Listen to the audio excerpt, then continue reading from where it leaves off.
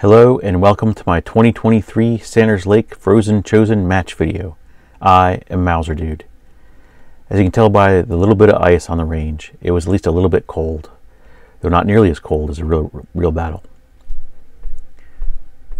One of the main purposes of this match for me was to test my reloading skills. I reloaded all the ammo I used for this match, and this is a picture of my reloading setup. I did a little testing a couple weeks before with my ammo, and this is one of the test targets I used. So it was pretty pretty close. Um, I think I made one click to the right adjustment on my sights after the last range trip. This match, the first string is actually a sight-in string that's not scored. You can kind of take 10 shots, almost as long as you want, to kind of check it, check your loads and make sure everything's running right. This is just a snippet of me double speed doing that. And this was my sight-in target. So everything looked like it was doing okay. That's not too bad of a target. And here, here is string one, the prone slow fire stage. You have 10 minutes, take 10 shots from prone, and you're allowed to use a sling for the prone stages. So I'm all slung up, trying to use my Appleseed skills. And somehow I didn't manage to pick up a round on the first two round clip there. So the two round clip was kind of giving me trouble during the match. Uh, and I can't quite get it to seat, so I have to finagle it a little bit. And you can also check your check your hits as you're going. So I did that for the prone slow fire, kind of make sure everything's going okay. And trying to use all the skills I picked up in Appleseed to make sure I'm spot on. Got a sling set up, taking a breath, pulling the trigger at the bottom of the breath, follow through, all that kind of stuff. And this is the first first target. So I got a 91 with a one X-ring hit. So that's really good for me. I'm very happy with that. I would take that. All 10 on the paper there. Then string two is the prone rapid fire. You have 70 seconds to take 10 shots. And you start with a clip loaded and ready to go. So as soon as the buzzer goes off, you can go ahead and start shooting. And just like last year, I had some issues in the rapid fire. So the first two rounds go off okay. Then I kind of have some issue inserting the clip.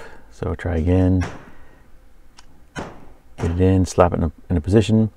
And for some reason, the, the second round didn't pick up. So I'm not sure if that's a reload issue, my issue, the gun issue, or what. So there'll be a click here. So eject nothing, right? So it didn't pick up a round. And go ahead and keep shooting. And this, of course, puts you in the mental state where, oh, I got to make up some shots. So every breath, at the end of every breath, you end up taking a shot as soon as the sights line up.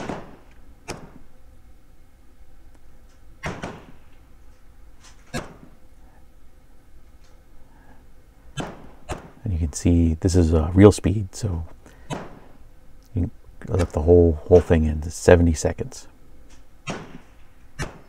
And you can see the clip eject. So I had about five or six seconds left.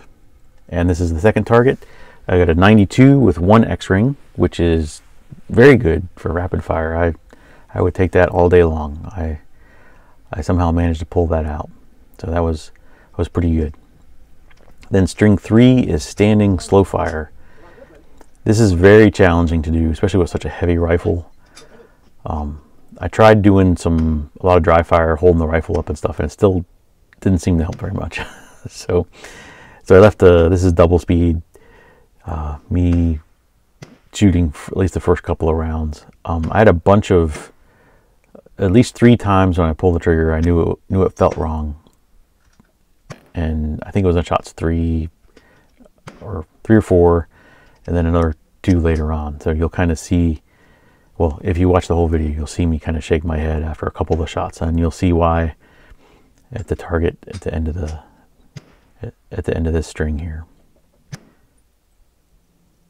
So you're trying to reset between shots and relax. I don't bother checking the the scope for my hits at this point because it doesn't really. I don't think it helps you too much. It's actually probably distracting. I know the rifle's on. I know it, it's it's just me at this point. So I just I just kind of shoot blind. And here it is. This was terrible. It was a 67. Two of the shots were off the paper to the top. So that was that was pretty bad. Uh, I did get manage to get one X ring though. So half the shots in the black and three flyers and whatever. So I ended up getting a 250 with a 3X. And you'll see in a second here the final scores.